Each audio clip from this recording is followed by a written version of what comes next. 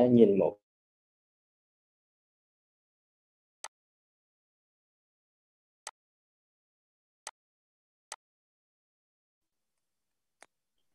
à, theo cái sơ đồ này á, à, đây là một cái công trình nghiên cứu năm 2000 công bố năm 2022 rồi.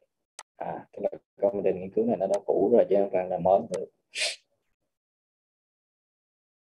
cái kết quả của công trình này cái sự phát triển của não bộ con người của mình á.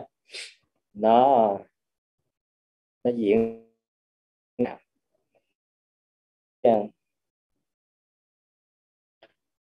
Ba cái đường cái đường màu xanh à, à, cái đường bình dương đây. Thì ở đây là cái tháng ha tháng đó. Tài nè? Không?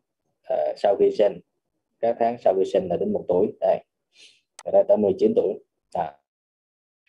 thì theo cái mình sẽ thấy là gì à, cái thị giác và cái thính giác á, điểm của các giác quan là thị giác và thính giác nó bắt đầu không nó bắt đầu từ khoảng à, 6 tháng thứ bảy tháng thứ bảy tháng thứ 8 tháng thứ 9 không? tháng thứ bảy tháng thứ 8 tháng thứ 9 của thai kỳ. Và như vậy thì cái à, cái khả năng gọi là tiếp nhận thông tin tiếp nhận âm thanh cái khả năng có, có thể à, thông qua thị giác. Là mình thấy là tháng thứ bảy là nó đã bắt đầu rồi ha. Và à, tháng thứ 9 à, thì mình thấy nó đã phát triển rồi không? Phát triển đỉnh đỉnh cao ha. Nằm ở cái mức đỉnh cao của nó là nằm trong khoảng cỡ tháng thứ thứ ba sau sinh. Khoảng tháng thứ hai tháng thứ ba sau khi sinh. Như vậy rõ ràng là cái của nó là từ khoảng cỡ 8 tháng thứ 9 của thai kỳ mà nó gọi là hết phát triển gọi là phát triển và nó nó nó phát, nó phát triển giảm dần cho đến là là lúc 5 tuổi. À, thì như vậy là mình sẽ thấy là gì? Cái độ cái độ tuổi mà nó phát triển đỉnh cao của cái phần thị giác và thính giác này là nó diễn ra rất là sớm. À, rất là sớm. Như vậy là cái khả năng nhìn nhận chắc tín hiệu và mà các khả năng tác động vào thính giác có thể đã được thực hiện từ rất sớm. Và đây là lý do mà người ta à, làm thai giáo là người ta tác động mà cái giai đoạn người ta giáo dục là là, là gọi là thai giáo còn trong giai đoạn mang thai đó. Ở cái, cái uh, lĩnh vực thứ đó là cái vấn đề ngữ mình nghĩ là khi theo cái tư tưởng cũ của của phụ huynh á của của ông bà mình á thì trẻ nó còn nhỏ nó nó nó chơi với chú học à, không cần phải vội ha. Nhưng mà mình thấy trên cái sơ đồ này á, mình sẽ thấy cái đường phát triển ngôn ngữ á, từ tháng thứ uh, thứ bảy. Thì uh, tháng thứ bảy của thai kỳ là bắt đầu rồi ha.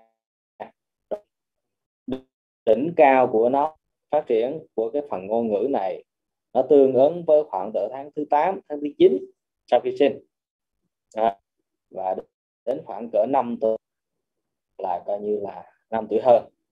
Là coi như cái vấn đề ngôn ngữ là nó nó đến nó gọi là nó không phát triển nhiều về cái vấn đề này nữa. À, như vậy thì mình sẽ thấy là gì? Cái sự phát triển về mặt ngôn ngữ nó đã diễn ra cũng từ rất là sớm từ lúc mang thai rồi. Và trong những cái giai đoạn đầu à, giai đoạn đầu và những tháng đầu tiên um, dường như nó diễn ra trước một tuổi rồi à, trước một tuổi rồi đến cái các cái chức năng nhận thức có thể đây không? thì tương ứng với khoảng cỡ tháng thứ 9 là tức là còn mang thai thì nó đã đã có hết rồi đó. và nó phát triển đến trà của nó à, một tuổi một tuổi hơn đó như vậy thì mình sẽ thấy là gì? Dường như sinh ra mình mới giáo dục là tính ra là nó đã muộn quá rồi. Nếu cái sơ đồ này mình nhìn và công trình này nghiên cứu này là, là, là công bố năm 2000 nữa như vậy thì cái việc giáo dục nó không phải chỉ tác động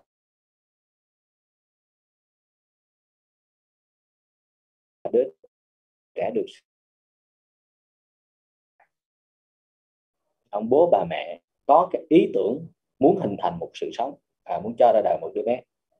Thì ông bố bà mẹ đó phải chuẩn bị à, về cái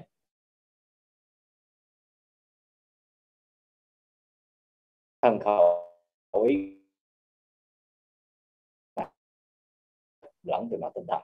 Đó.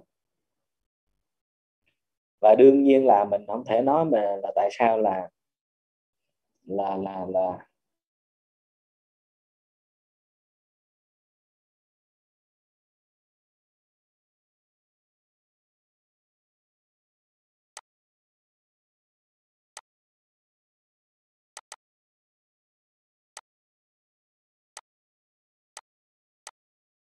tương ứng với cái mức đó và nó phù hợp với cái điều kiện hoàn cảnh tính chất của cái cái sự đầu thai đó của đứa trẻ thì đương nhiên nó chỉ tới mức đó thôi.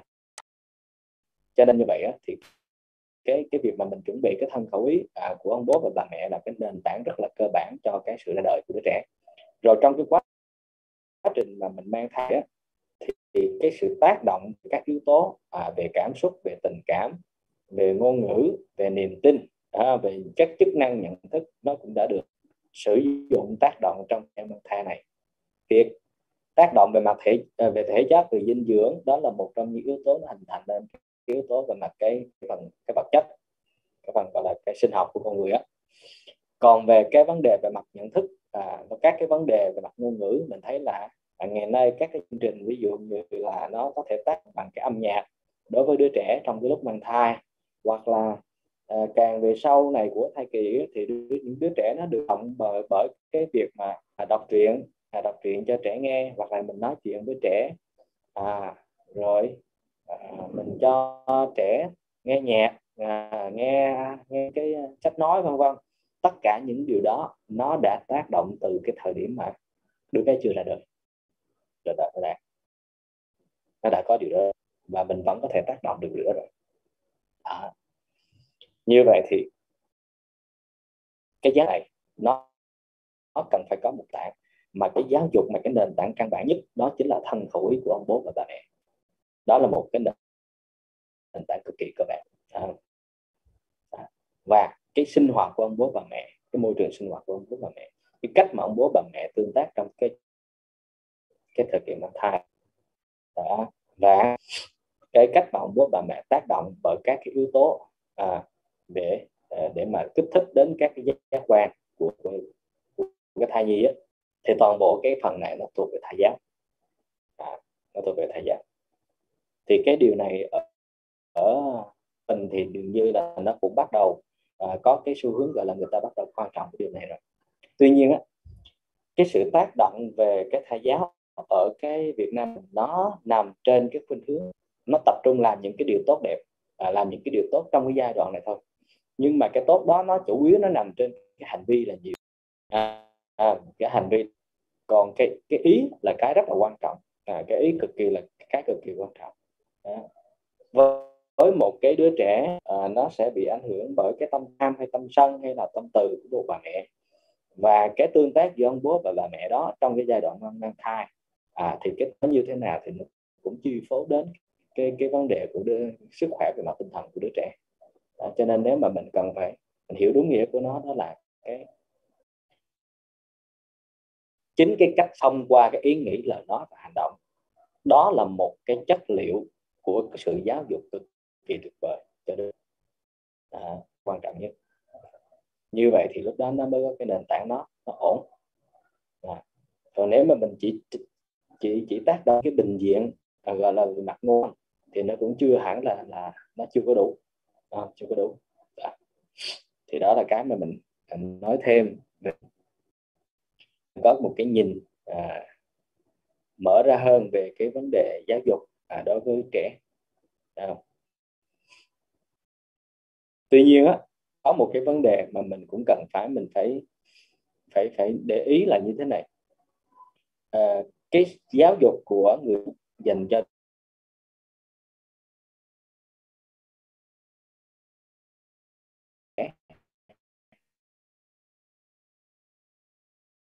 theo những cái điều mà mình mong muốn. Đương nhiên là mình hướng dẫn cho đứa trẻ để mà nó có thể theo những cái điều tốt đẹp. Thì đương nhiên điều đó là đương nhiên. Nhưng mà không phải là vì mình cho rằng nó tốt đẹp mà mình tước mất đi cái sự trải nghiệm à, một cách rất hồn nhiên ngây thơ.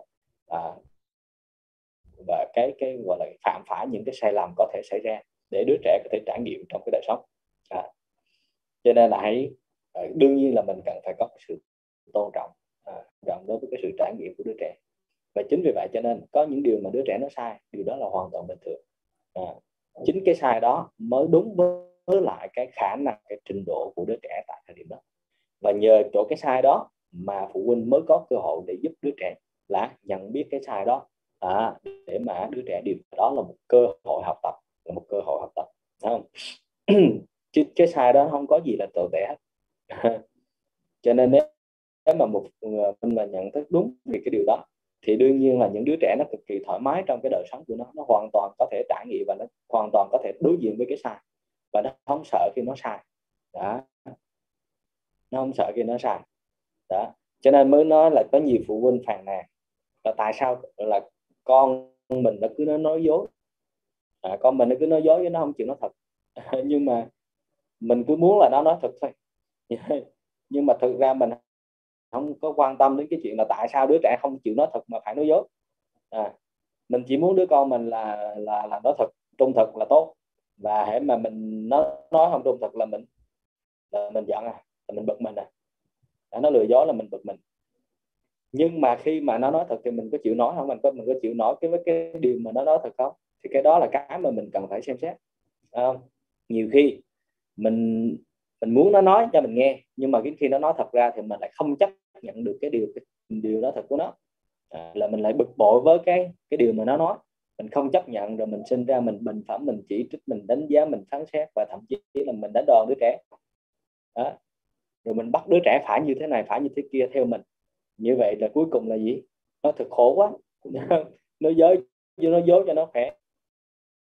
Đứa trẻ sẽ nhận thức một cái một cái mặc định là gì? Nó thật quá mệt mỏi và quá căng thẳng.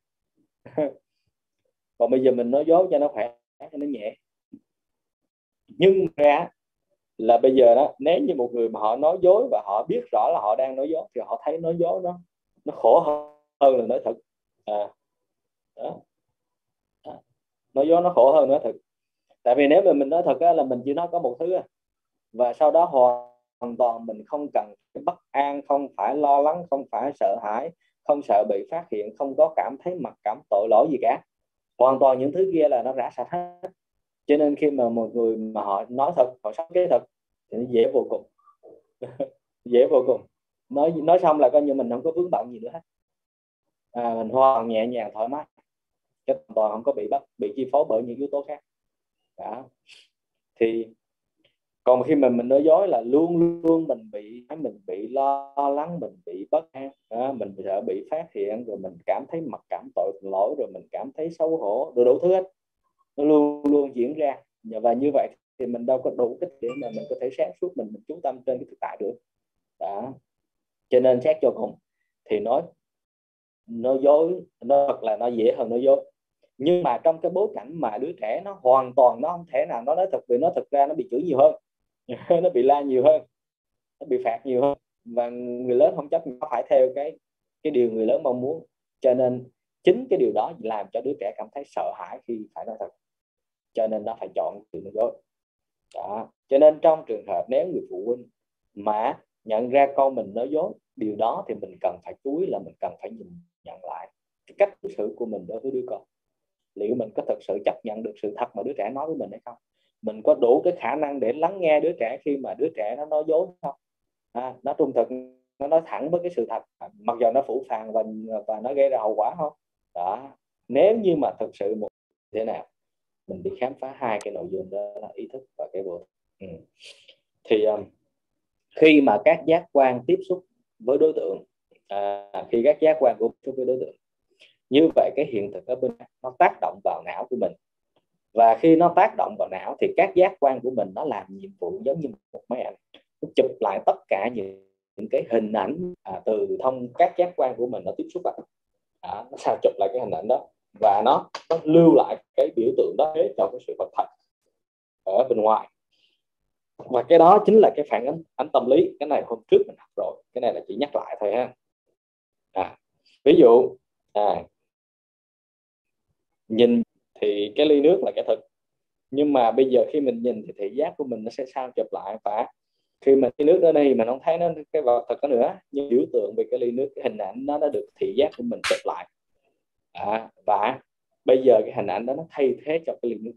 Đó đó chính là cái, cái hình ảnh tâm lý phản ánh tâm lý nó đều lại. À.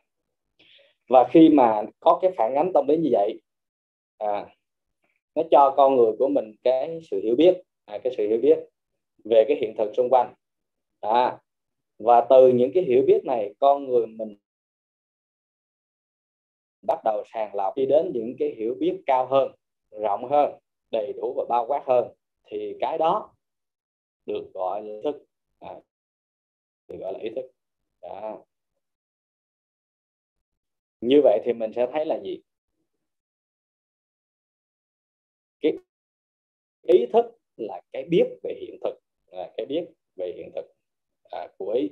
Khi mà các giác quan tiếp xúc vào đối tượng à, tuy nhiên cái biết của cái ý này á thì nó có hai cái loại mà cái cái biết à, của cái ý của cái ý ở giai đoạn đầu á, khi à, còn biết trên cái thực á nó sẽ không nó chưa có bị che mờ nó chưa có bị đang xen vào. À, nó biết trên thực đó cái hình ảnh ban đầu của nó là biết trên cái thực đó. thì cái hình ảnh đó nó vẫn còn là cái thực tánh và nó mang tính chất là chính xác tuy nhiên giai đoạn sau đó khi mà cái kinh và cái kiến thức bắt đầu nó chen vào à, những cái kinh nghiệm và những kiến thức vốn có sẵn bởi những biết do cái quá trình mà sau cả một cái tiến trình tâm lưu lại trở thành những cái à, ký ức trí nhớ hay còn gọi là hồi tưởng á, được lưu trong kho chứa và được cái vận hành của tưởng đó là tái hiện lại tái hiện lại cái trí nhớ cái biểu tượng cái nội dung mà mình đã ghi nhớ. Để mà à, đánh giá bình luận à, cái và kết luận cái cái biết trên cái thực tại mới. Thì như vậy thì lúc biết này bắt đầu nó mới xa rời cái cái cái thực đi. À, mà lúc đó là chỉ là cái biết của suy luận của của phân của của lý trí thôi đó. cho nên ngay chỗ cái ý này nếu mà mình không có cái tinh tấn chánh niệm tỉnh giác không có cái sự so, so sáng của cái chánh kiến á cái chánh kiến cái chánh tư duy thì lúc đó nó sẽ đi đi xe à, là chỉ là đơn thuần là chỉ có hoàn toàn là cái biết của lý trí thôi à, cái biết của lý trí à, của cái ngã lý trí nó thuộc về cái ngã đó. còn nếu như mà chỗ này nếu mà ý thức ý xuất hiện cái biết của ý khi mà quan tiếp xúc với đối tượng nhưng mà sự soi sáng của chánh kiến khi mà tiếp xúc và tiếp nhận được cái thông tin một cách trung thực à, thì dẫn đến là gì? Cái tư duy trên cái thực đó. À, thì lúc đó hoàn toàn cái biết này là nó nó là cái biết có sự soi sáng của trí tuệ. À, thì nó không phải hoàn toàn là của lý đó. Đó là cái vấn đề về mặt ý thức. À, như vậy tóm lại ý thức ở đây à, nó được định nghĩa đó là hiểu biết của hiểu biết có nghĩa là gì? Trên nền tảng của cái việc à, thu nhận các tín hiệu từ từ các giác quan à, thông qua ngũ quan thông qua năm giác quan. À, cái tín hiệu đó bắt đầu cho cái biết ban đầu. Và biết ban đầu đó người ta có thể suy luận có thể sàng lọc có thể phân tích có thể so sánh để mà có thể được cái hiểu biết à, sâu hơn rộng hơn. À, thì cái đó nó thuộc về lại là cái biết của ý, ý thức. À, thì đó là mình à, ý thức nó có ba cái đặc điểm. Một đó là cái tính nhận thức. Ừ. tức là cái khả năng thức vấn đề tiếp nhận thông tin. À, và biết cái nội dung thông tin. À, và có thể là trên cái nền tảng đó mà có thể hiểu biết sâu hơn. À, sâu hơn nữa từ những cái thông tin tin cơ bản đó. Đó chính là tính nhận thức. Thứ hai biểu thị thái độ tức là nó có cái khả năng gọi là phản ứng lại cái thái độ phản ứng lại của tâm đối với cái cái kích thích mà nó đang đang tiếp nhận với cái biết mà nó đang tiếp nhận đó à, cái thái độ phản ứng của tâm đó. cái đó nó thuộc về là cũng là một mặt của ý thức à. cái thứ ba đó là cái tính chủ định dự kiến hành vi có nghĩa là nó có khả năng dự định à, có khả năng phản ứng lại một cách chủ chủ động á, chủ động tích cực có khả năng phản ứng lại một cách chủ động về cái hành vi và nó đáp trả lại như thế nào. Đó là cái ba cái đặc tính của của ý thức. Nếu như mà nếu xét à, về mặt cấu trúc thì nó có thể là gì? Cái mặt à, nhận thức mặt thái độ và mặt hành động. À, nó có ba mặt như thế trong cấu trúc của ý thức.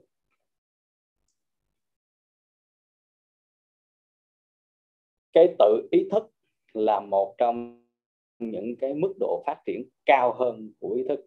À, tự ý thức là một cái mức độ phát triển cao hơn của ý thức.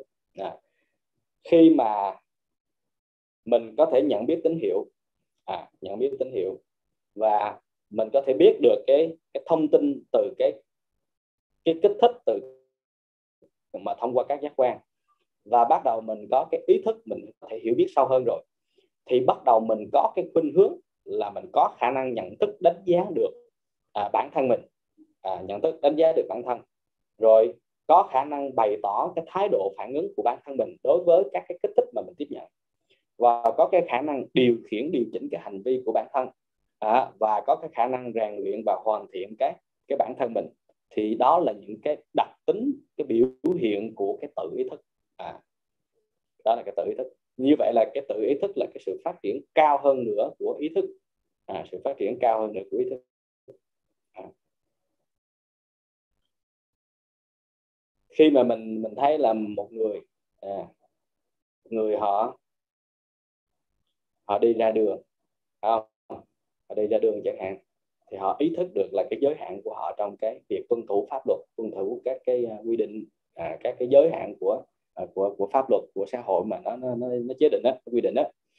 đó. Thì cái đó là cái, cái ý thức đối với cái cộng đồng.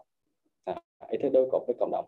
Còn khi mà một một đứa trẻ mà mình nói nó rằng là nó cái khả năng tự ý thức của nó rất tốt có nghĩa là gì? Có nghĩa là đứa trẻ đó nó biết tự lo cho bản thân tự lo cho bản thân tự điều khiển điều chỉnh cái hành vi của bản thân để phù hợp với cái thực tế đời sống để thích ứng với cái đời sống. Và nó biết cách bày tỏ cái thái độ của nó đối với những cái thông tin những cái sự kiện mà tác động đến nó. Và nó biết cách tự rèn luyện bản thân nó tự rèn luyện tự hoàn thiện bản thân của nó. Mà nó không có cần phải đến cái sự nhắc nhở hay là sự tác động một cách à, tích cực từ phía ông bố và bà mẹ. À, có nghĩa là bản thân nó tự nó đã có thể làm được những cái điều này. Thì cái đó người ta gọi là tự ý thức. À. ngược lại với cái ý thức đó thì đó chính là cái vô thức. À, cái vô thức. Cái phần vô thức này là như thế nào?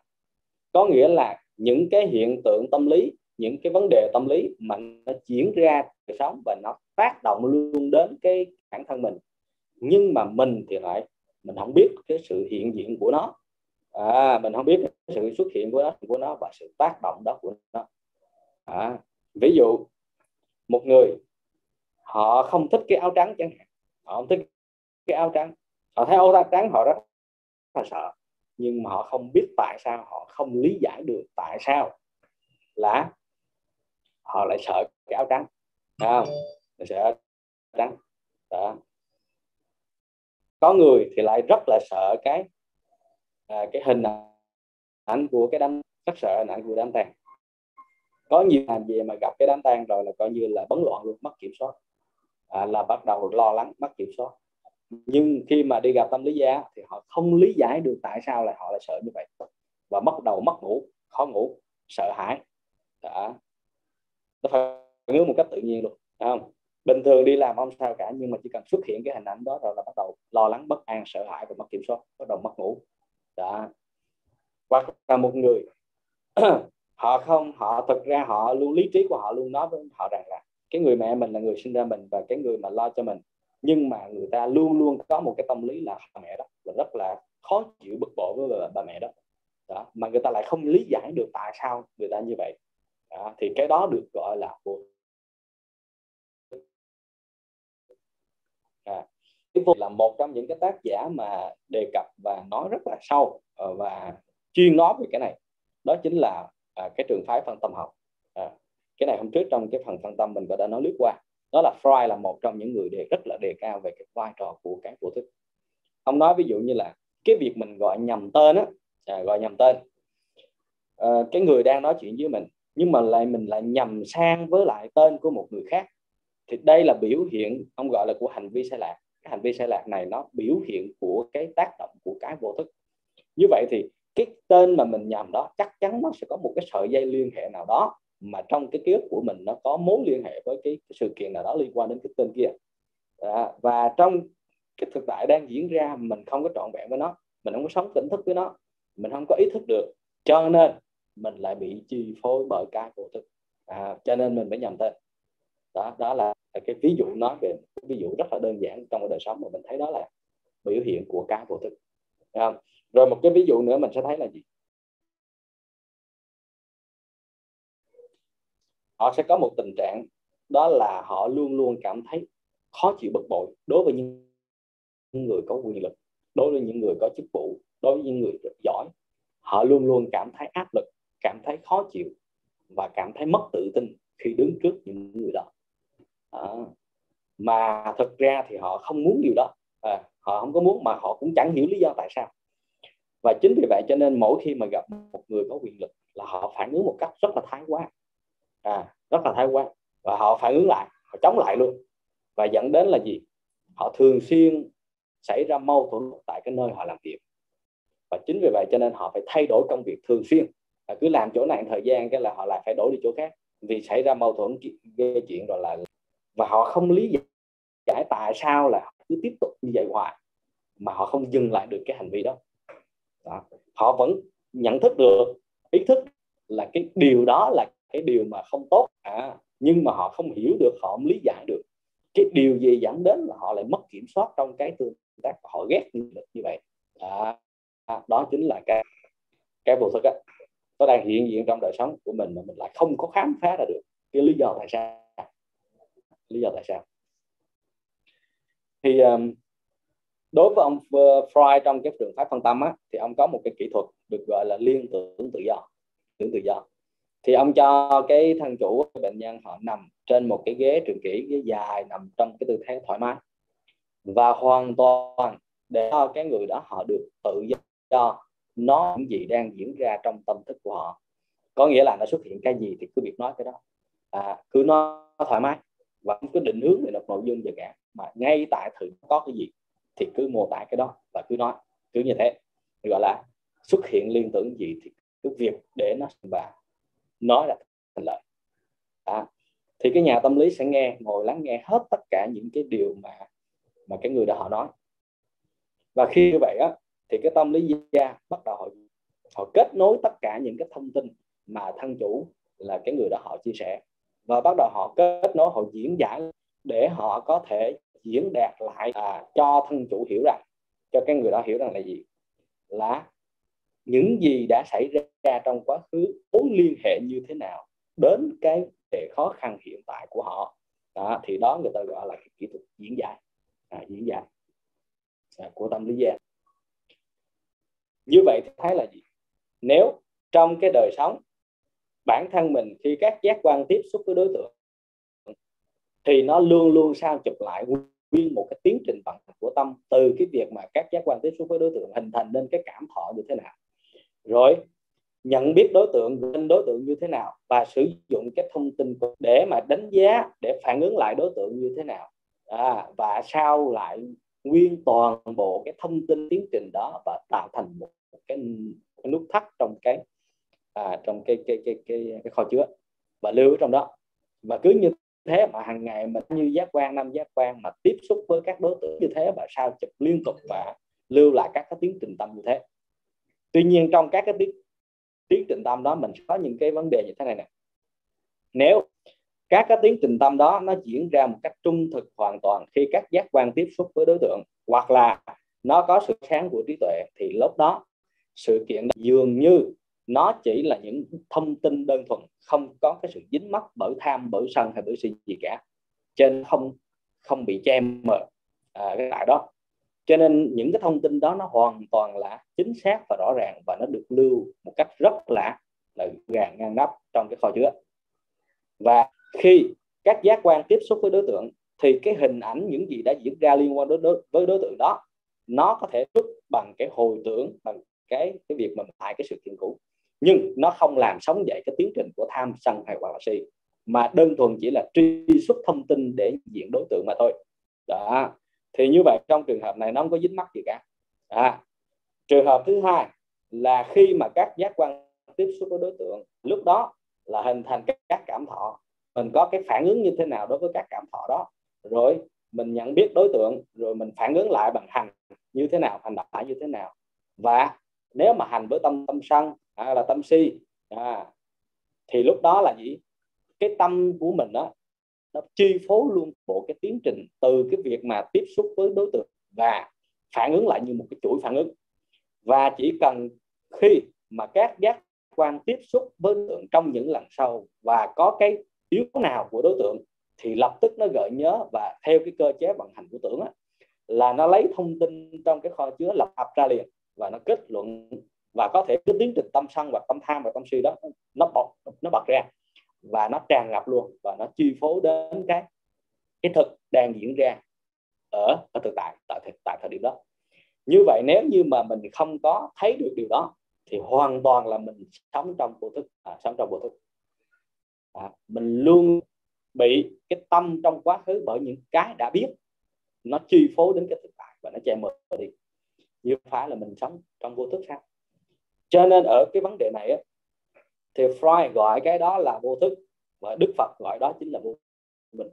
Vô minh khi mình không thấy được cái sự thật đang diễn ra nơi mình à, mà mình bị cái những cái đã biết nó che mờ đi nó che đi nó không có còn tiếp xúc được với cái thực nữa. Và mình phản cách hoàn toàn trên cái bản năng à, bởi những cái thông tin trong quá khứ để sống với hiện tại. Đó, mà mình không mình vẫn sống như thế và bị nó chi phối và làm cho mình khổ. À, cái đó là gọi là vô minh à, vô minh. Và Freud gọi là gì? Là vô, vô thức. À, vô thức. Như vậy tóm lại vô thức là gì? Là những cái hiện tượng tâm lý mà nó tham gia vào cái việc mà điều khiển chi phối đến cái hành vi con người của mình á ở cái tầng bậc chưa ý thức của lúc đó mình không có nhận biết được. À, nó không nhận biết được mà nó không điều khiển được. Đó. Cho nên á à, có nhiều nó là gì? Thiền chính là hữu thức hóa vô thức à, khi một người họ trở về với chính mình họ thấy biết rõ trên thân thọ tâm là họ hoàn toàn sống với sự tỉnh thức có tinh tấn chánh niệm tỉnh giác là họ soi sáng lại cái cái cái thực tại đang diễn ra ở ở chính nơi nơi, nơi thân tâm của họ. Như vậy họ sẽ thấy lần lượt cái thực ra và tất cả những gì là vô thức lần lượt đều được hữu thức hóa đều được ý thức và giải một cách rất rõ ràng tại sao mình có thể trả lời tất cả những câu hỏi về những vướng bận về những vướng mắc của chính mình. Đó. Đó là cái cái khái niệm về vô thức. Bây giờ mình đi sâu hơn một tí nữa à, vô thức nó có những cái đặc điểm gì? Thứ nhất là nó không ý thức. Lúc đó mình không có ý thức được cái ý cái cảm xúc cái hành vi. À, lúc đó mình biết à, có thể lúc đó là mình sân với người ta. Lúc đó là mình biết mình sân với người ta nhưng mà tại sao thì nhiều khi mình cũng ý thức được. Mình không biết được tại sao mình sân nhưng mà mình chỉ cần thấy người đó là mình không ưa đó. Mình thấy cái người đó là mình không ưa rồi. Nhưng mà mình không mình không biết cái lý do tại sao mà mình không ưa. Đó, mình không ý thức được. Đó. còn có trường hợp là gì nó còn tệ hơn nữa là mình săn với người ta mà mình cũng biết mình đang săn luôn. Đó. đó. Thứ hai đó là mình không kiểm soát và đánh giá được cái thái độ phản ứng à, về và cái ngôn ngữ cái hành vi của bạn. À, và cái thứ không dự kiến được cái hành động của bản thân. Không có chủ có có có hành động mang tính chất là có chủ kiến á. À, và hành động diễn ra một cách theo bản năng và đột ngột thôi. Đó, đó là ba cái đặc tính của cái vô thức. Bây giờ mình sang một cái phần tiếp theo đó là à, à, một số cái biểu hiện của của cái vô thức à, trong cái đời sống của mình cái vô thức nó biểu hiện ở trong chỗ nào? Thứ nhất đó là cái bản những cái bản bản năng à, tố này mang tính bẩm sinh di truyền. Ví dụ như cái sự tự vệ. Khi một người họ bình phẩm chỉ trích đánh giá phán xét người khác như vậy xét trên bình diện về mặt tâm lý họ đang tấn công người khác bằng ngôn ngữ bằng tâm lý. À, họ không chưa động tay động chân gì hết đó nhưng mà có bình phẩm chỉ giá phán xét là đang tấn công họ về mặt tâm lý. Thì đương nhiên cái khả năng phòng vệ của cái tôi à, cái tôi thì nó mới có cái sự phòng vệ. Cái thực nếu một người mà hoàn với cái vô ngã vị tha là sống trên cái thực thì lúc đó nó không còn sự phòng vệ. Đây là cái điều sự khác biệt giữa một người mà vô ngã vị tha hoặc là sống với cái ngã của mình. Trên cái sự phòng vệ để phản công lại để bảo toàn sự sự sự toàn vẹn bảo toàn cái sự không tổn thương của cái tôi đó, nó mới dẫn đến cái cơ chế phòng vệ. Mất chuyện là mình chịu đựng hay là mình phản kháng lại hay là mình lờ nó đi à, hay là mình phản ứng lại một cách là ngược lại để làm hài lòng người khác. À, cho nên có rất nhiều cái kiểu tự vệ mà mình sẽ thấy là ví dụ như là có người á thì họ sẽ chịu họ dồn nén tất cả những cái gì mà à, cuộc đời đem lại cho họ và những người khác đối xử với họ thì họ sẽ dồn nén. Có người thì họ phải phản kháng lại họ tấn công lại luôn. À, không chấp nhận họ tấn công lại à, phản ứng. Có người thì họ lại phản ứng ngược. Có nghĩa là họ biểu hiện cái của họ qua bên ngoài với người khác thì là nó đối hoàn toàn với cái tâm thực sự đang diễn ra bên trong. À, thay vì họ đang rất là giận người khác nhưng bên ngoài họ rất là tươi cười và rất là mái và họ thể hiện là họ không có vấn đề gì cả. Phản ứng ngược cơ chế phản ứng ngược để làm hài lòng người khác và để duy trì cái mối quan hệ đó nó ổn để họ đạt được cái mục đích của họ muốn. Nhưng sau thực sự bên trong họ rất là giận. Đó, ví dụ như vậy. Thì mình sẽ thấy là nó có rất nhiều cái kiểu cơ chế phòng vệ để mà nó bảo vệ cái sự tội gọi là toàn vẹn của cái tôi. Khi mà cái tôi nó được hình thành à, chấp thủ tôi của tôi thì lúc đó là cái tôi nó sử dụng cái cơ chế phòng vệ như một cách để tránh đi cái sự tổn thương tránh đi cái sự tổn thương. À, và tránh đi cái lo âu. À, đó.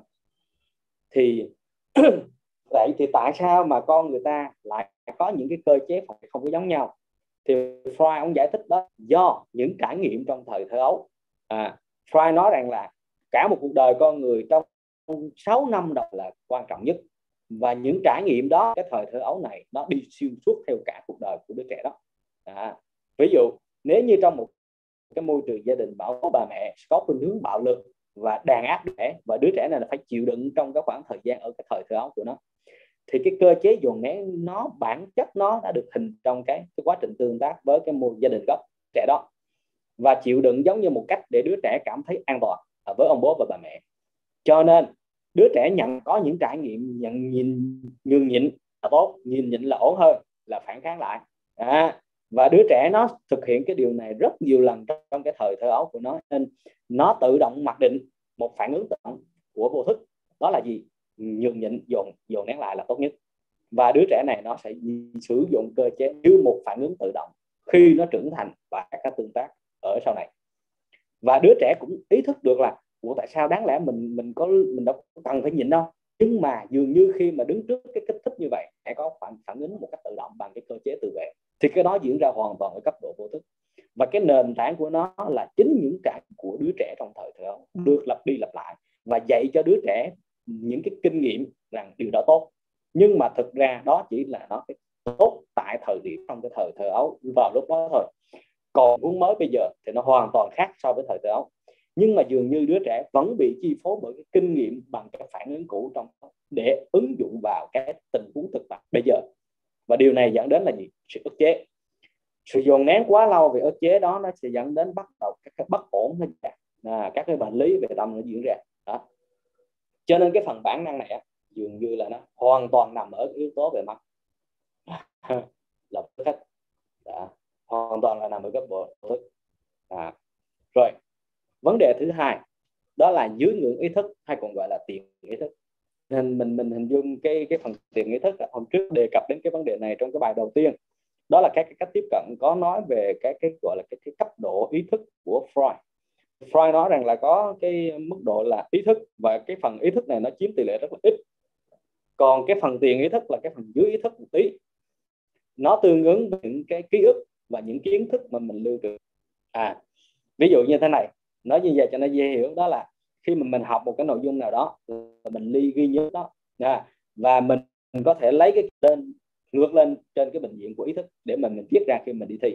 Đó, thì đó là sự cái chuyển dịch từ cái tiền ý thức nó lên cấp độ là là ý thức. Đó thì đó là được gọi là cái tiền ý thức. Thì cái mức dưới ngưỡng của ý thức à, tiền ý thức.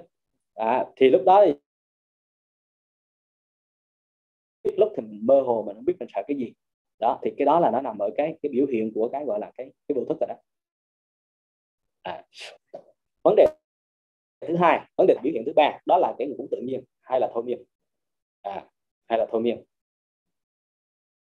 à. thì cái ngủ tự nhiên hay thôi miên này nó cũng là một dạng biểu hiện của cái vô thức khi mà người ta ngủ tự nhiên á thì trong cái quá trình mà người ta ngủ thì mình sẽ thấy là hoàn toàn bộc lộ cái, cái việc đó là người phản ứng hoàn toàn cái bản năng của cái vô thức. À, lúc đó ý thức nó không hiện diện. À, ý thức nó không hiện diện. Nó hoàn toàn thẳng phản vô thức. Và mình sẽ thấy có sự khác biệt. Nhiều người họ ngủ họ mơ và có nhiều người họ ngủ họ không bao giờ mơ. Đó. chứ không phải ai ngủ cũng mơ ha. Đó. như vậy thì mình sẽ thấy là gì? Trong khi ngủ có những người họ nói mớ có những người họ gọi là gì? Họ họ đi lại họ leo lên nóc nhà. Đó họ leo lên nóc nhà. Đó, họ làm những cái việc mà rất cực kỳ mà mà mà lạ. Những điều đó hoàn diễn ra ở cấp độ vô thức họ không biết. À.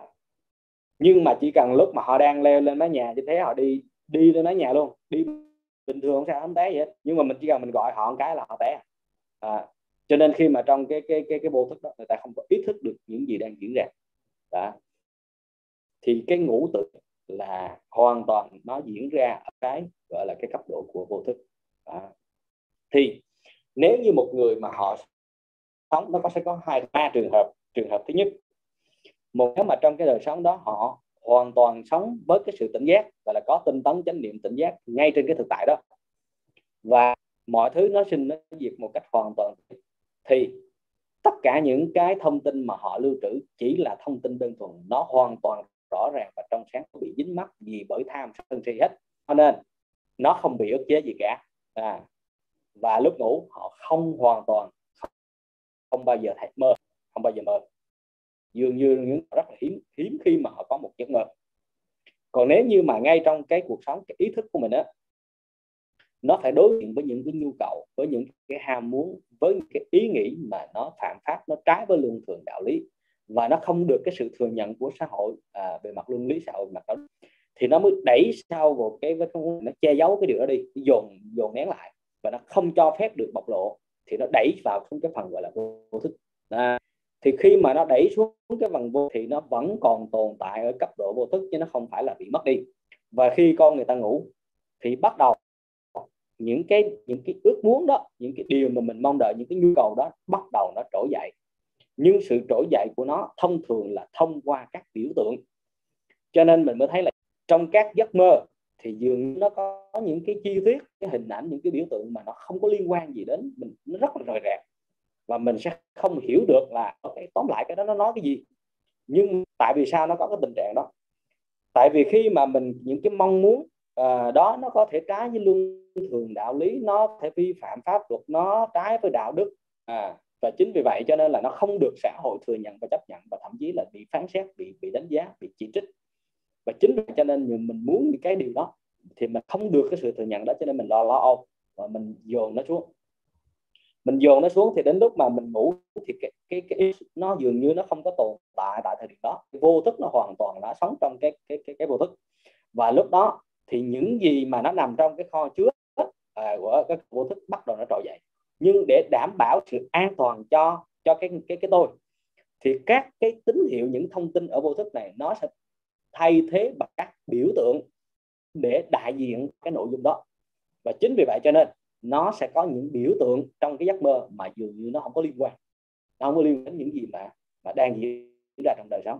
Nhưng nếu một người họ hiểu họ có kiến thức về cái lý giải về giấc mơ à, mà ví dụ như là họ đọc à, họ nghiên cứu sâu về phân tâm cái gọi là cái kỹ thuật phân tích các giấc mơ thì họ sẽ biết được là các cái biểu tượng trong giấc mơ đó thì họ sẽ diễn giải từng cái biểu tượng đó và họ kết nối các cái biểu tượng này các cái thông tin trong cái giấc mơ này lại. Họ sẽ biết được là cái thân từ các vô thức đó là gì. Đó thì cái đó là gọi là cái giấc mơ đối với cái gọi là cái giấc mơ của cái bộc lộ của các vô thức. Trường hợp nữa một cái giấc mơ nữa đó chính là cái giấc mơ người ta gọi là giấc mơ tiên tri. À, giấc mơ này là những giấc mơ mà có thể thấy trước sự việc được báo trước điềm báo trước sự việc. À, nó giống như một phần của trực giác linh cảm. Nhưng mà thật ra cái này đó thì thường nó xảy ra đối với những vị mà họ tu tập về định nhiều thiên về định á. À, tập thiên về định. Định không có nghĩa là ngồi thiền ngồi thiền định đâu mà người ta có thể niệm phật người ta có thể trì chú. À, khi mà mình tâm mình nó an trú trên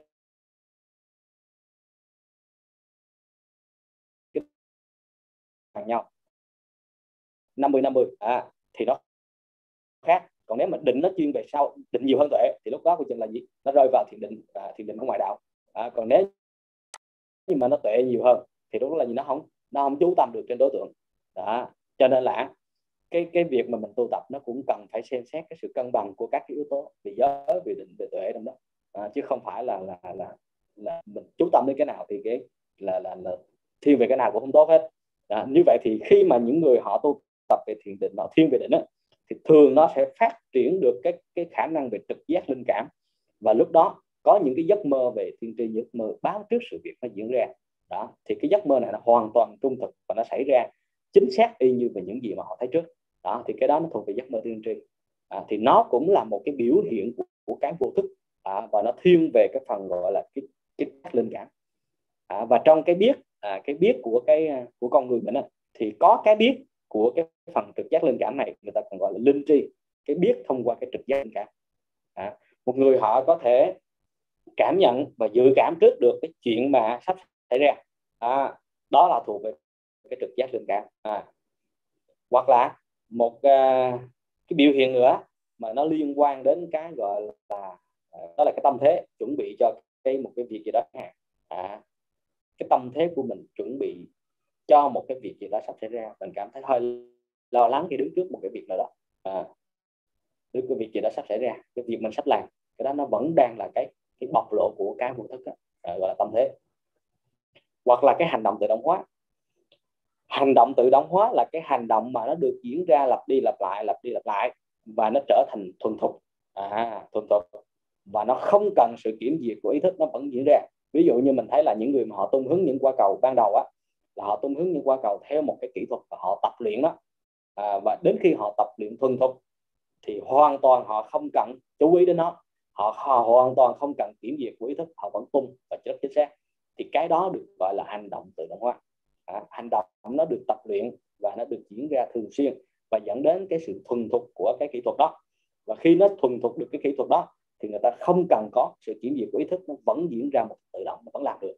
À, thì cái đó được gọi là hành động tự động hóa cái này cũng là một dạng của cái vô thức. À, một dạng của cái vô thức. À.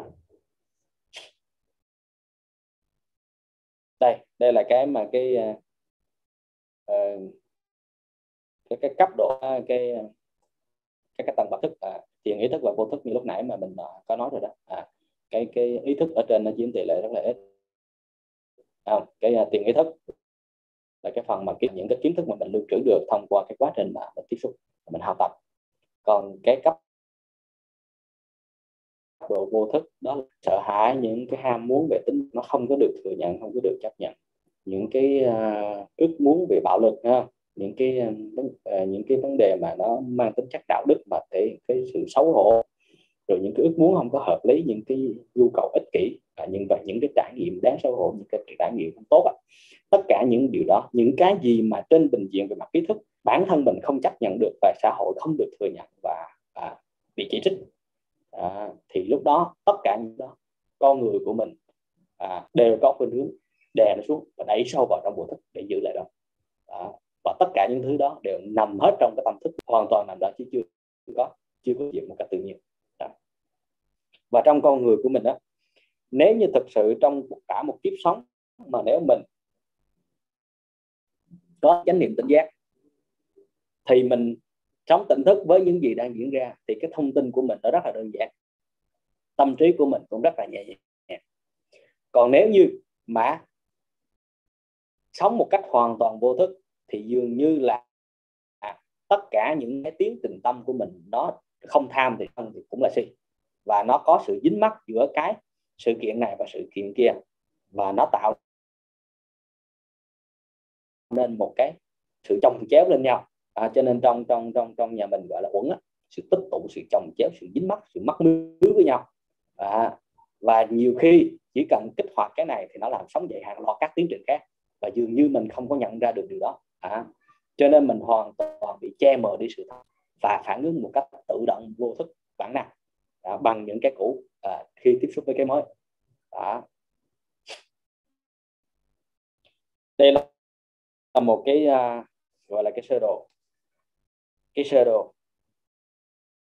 Nói về mình mình gom lại mình mình mình tổng kết lại toàn bộ cái nãy giờ mình nói. À, từ trong cái vô thức trong sâu thẳm của nó là cái vô thức. Nó có thể biểu hiện qua bản năng là qua cái trực giác linh cảm qua cái thế qua giấc ngủ qua kỹ xảo thói quen. À, qua hành động tự động hóa đó là kỹ xảo hoặc là thói quen. Kỹ xảo thì nó thiên về luyện tập cái thao tác kỹ thuật mà được lặp đi lặp lại thì nó thiên về kỹ xảo. À, ví dụ mình lái xe. À, ban đầu mình lái xe mình tập luyện lái xe ban đầu mình chưa biết lái xe thì mình tập mình tập thời gian xong rồi là mình lái rất điêu luyện và thậm chí mình thả tay ra mình lái luôn mình vẫn lái được. Cái đó là thật kỹ xảo. Còn cái thói quen là cái mà nó được hình thành lặp đi lặp lại lặp đi lặp lại trong đời sống. Ví dụ như là mình có thể nhắm mắt và mình đi trong cái cái cái cái cái nhà của mình trong cái căn phòng của mình mà hoàn toàn là mình đi chính xác. Cái đó là do thói quen trong cái đời sống. Và hai cái này kỹ xảo và thói quen là hai cái biểu hai cái nội dung của cái hành động tự động đó tức là hành động tự động diễn ra mà không có sự chuyển gì của ý thức vẫn diễn ra được. Rồi cái tâm thế à rồi hơn một tí nữa đó là cái ký ức cái kiến thức lưu trữ à, thích sợ mơ hồ. Tất cả những cái này bắt đầu nó nó, nó bắt đầu dần chuyển sang thức rồi sâu hơn tí nữa đó là ý thức biết được những gì đang diễn ra. À, và thông qua cái lý trí à, lý trí à, gọi là hiểu biết của hiểu biết á à, suy luận à, phân tích đánh giá so sánh của cái lý trí sự can dự của cái lý trí vào cái biết đó. Và cao hơn nữa đó cái tự ý thức và cái cao hơn của ý thức. Hơn nữa đó chính là ý thức tập thể à, ý thức nhóm ý thức đối với cộng đồng. Thì đây toàn bộ những cái này nếu mà đứng trên bình diện về mặt tục đế thì nó là thuộc về tướng biết. À, cái biết thông qua cái lý trí. À, cái biết thông qua lý trí thì lúc đó cái hữu thức và vô thức ý thức và vô thức. À, cái tướng biết thì nó lại có hữu thức vô thức. Tức là nếu xét trên bình diện tục đế à, à, trong cái đời sống nó được gọi là tướng biết thì nó là có biểu hai cái khía cạnh là hữu thức và vô thức. Tuy nhiên toàn bộ những cái thứ này nè từ cái bản năng vô thức rồi cái trực giác linh cảm tâm thế giác ngũ kỹ xã quen ký ức kiến thức lưu trữ thích sợ mơ hồ ý thức ý thức à, ý thức nhóm tập thể này. Nó đều được thấu bởi cái tánh biết nó trùm ở cái cái tướng biết này. À, cho nên khi mà mình trở về với chính mình á thì mình mới thấy là tại sao là ví dụ như mình đang mình đang sân mình sân. À như vậy thì nó có hai cái biết. Một cái biết tự nhiên của tánh biết. À, mình không cần làm gì cả, trở về là mình thấy, thì cái đó là cái biết của tánh biết một cách tự nhiên. Mắt mình thấy đối tượng là lập tức thấy, không cần phải chú tâm thì mới thấy. Chỉ cần quay trở về là thấy đối tượng là lập tức, thì cái đó nó thuộc về tánh biết. Khi mà biết mà bắt đầu mình phân tích ra đúng sai, tốt, xấu, hơn, thua, thì nó thuộc về tướng biết. Như vậy thì cái tánh biết này nó suốt luôn cả cái tướng biết bên ngoài biểu hiện của bên ngoài. Đã. và khi mà mình trở về với chính mình, đó là trở về phát huy, trở về để nhận diện và thấy rõ hiện diện của cái tánh biết này và khi được cái à, cái vai trò cái hoạt động của cái tánh biết trong đời sống. Đó chính là cái mà cái đời sống của một người giác ngộ giải thoát. Đó thì đó là cái mà mình mình tóm lại cái toàn bộ cái nãy giờ mình nói về cái ý ý thức và vô thức. À. rồi. Bây giờ bắt đầu à, nãy giờ mình nói vậy đó thì không biết là quý vị có ai hỏi gì không? Thắc mắc cái gì cần à, à, à cần hỏi xin mời.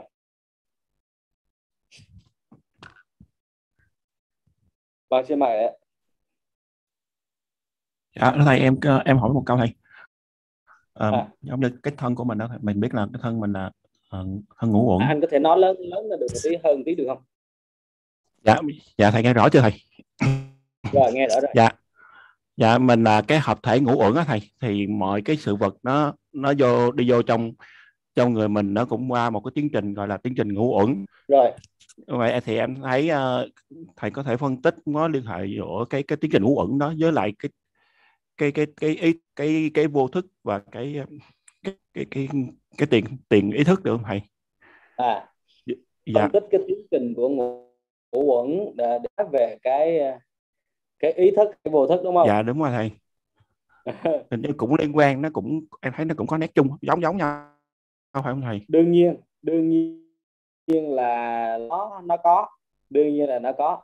Và đó chính là cái tiến trình rất là cơ bản mà mình nhớ lúc trước là mình đã nói về cái này. Um, để mình coi lại coi. Tìm lại cái cái hình ảnh của cái cái sơ đồ của nó để mình sẽ bắt đầu mình sẽ nói về cái này. À, đây là một cái nội dung khá khó. Đây là một cái nội dung khá là khó và khá là sâu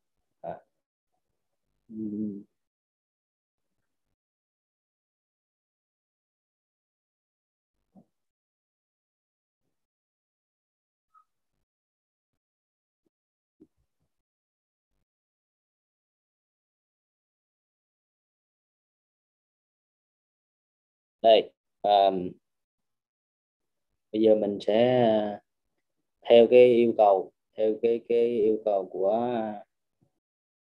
của anh mình sẽ nói về cái cái mối liên hệ giữa cái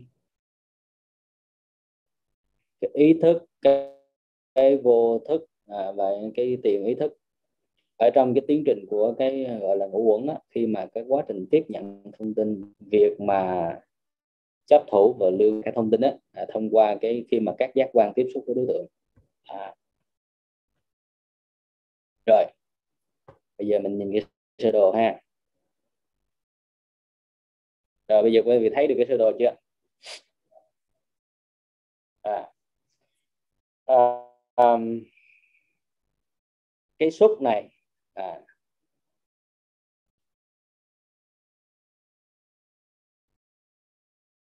khi mà các giác quan tiếp xúc với cái đối tượng và hình thành nên cái biết và là một cái chuỗi tình diễn ra à, mà các giác quan của mình tiếp xúc với đối tượng và hình thành nên cái biết đầu tiên. Đó thì cái này nó hình thành yếu tố đầu tiên gọi là sắc khuẩn. Khi mà có xúc thì nó sẽ có thọ à, mà cái thọ thì nó gồm có thọ của thân và thọ của tâm. Cái thân của mình nó có cảm thọ thì gồm có là gì? Là khổ lạc và xả. À, khổ và lạc xả. À, còn nếu về tâm nó là hỷ ưa và xả à, cái đó là thọ của thân và thọ của tâm.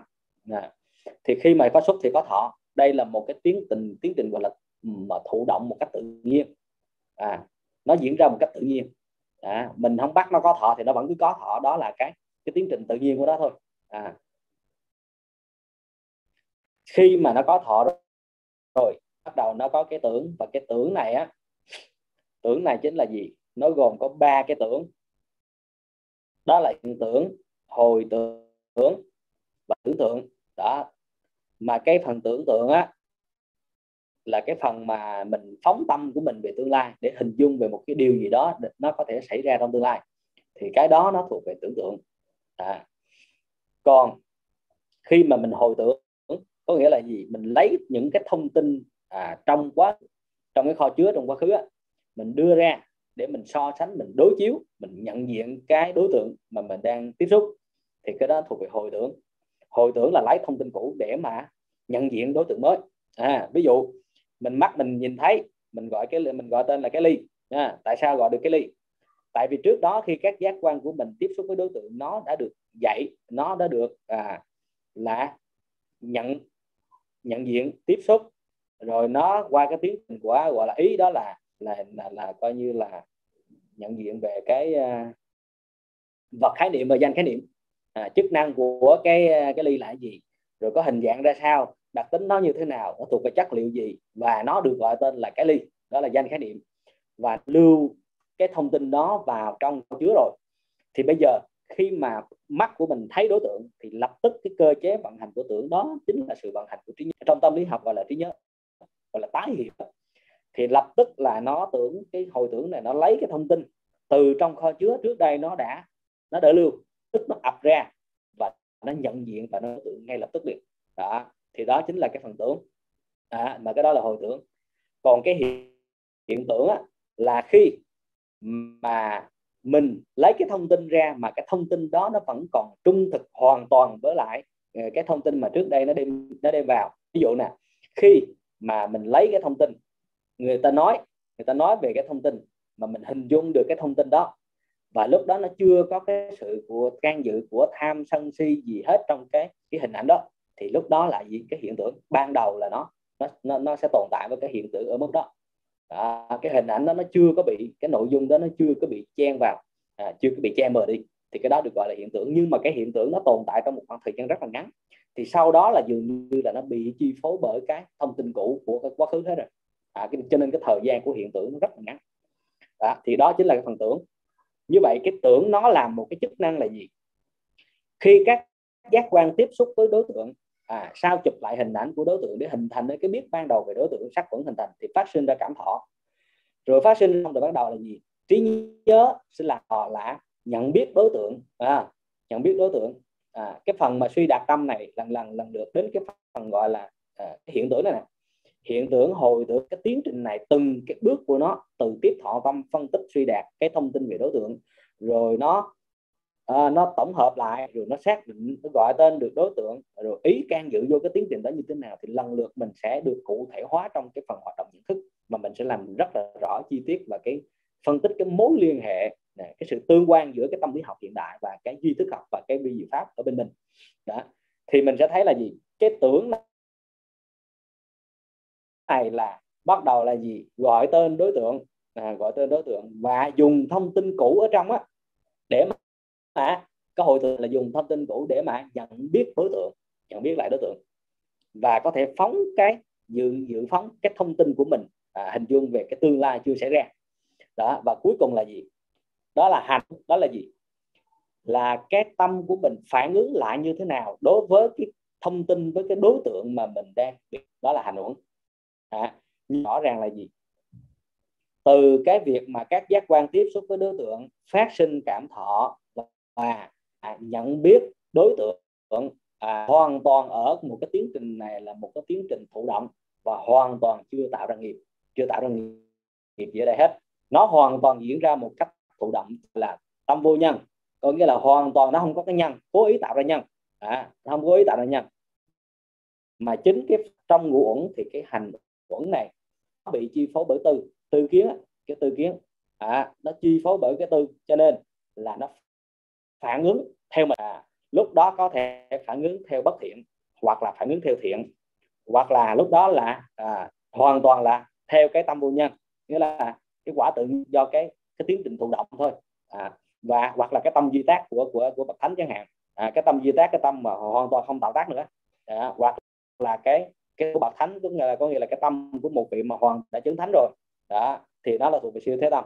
Thì chính cái phần tư này nè phần hành uẩn này trong ngũ uẩn là sự hành uẩn này. Hành uẩn này chính là tâm tạo nghiệp à, và tạo nghiệp lợi chỗ này. À, thì cái này á là nó liên quan quá trình à, tạo nghiệp à, hình thành nên nghiệp là chỗ cái hành. Và thức uẩn thức uẩn nó có hai chức năng. Một là nó xuất đồng thời họ tưởng hành. À, thức này thức quẩn thức trong thức quẩn á. Nó xuất hiện đồng thời và chi phối đến đến sắc thọ tưởng hành. Đó là chức năng thứ nhất.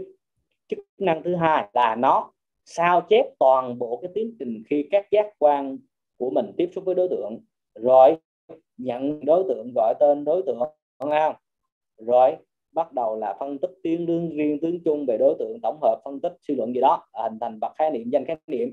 Rồi hướng lại đối với lại cái đối tượng đó sao chấp sao sao hết lại, quay phim hết toàn bộ cái tiến trình này. Và bắt đầu là sao? Lưu lưu lại ở trong cái kho chứa của pha pha gà trong tàn thức á. Rồi, như vậy thì mình thấy là gì? Trường hợp nào thì sẽ là tiền ý thức, trường hợp nào là ý thức, và trường hợp nào đó là vô thức? À bây giờ mình nói một gọi là cái vô thức trước nè. Khi một người tiếp xúc với đối tượng à, mà cái đối tượng đó à, làm cho họ phát sinh các cái cảm thọ không ưa thích à, họ họ không ưa thích. Và họ có thể lại họ có thể nhớ lại họ có thể gọi tên về cái đối tượng mà họ tiếp xúc đó và nhớ các cái cảm thọ đó không? Và bắt đầu họ phấn phản cách là họ đối kháng lại cái tác động của đối tượng đó bằng cái tâm giận dữ. À, nên được gọi là gì? Sang tôi sang